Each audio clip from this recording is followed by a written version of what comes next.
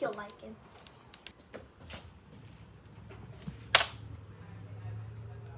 Play with him.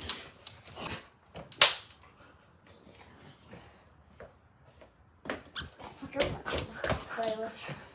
Don't you jump out of shirt.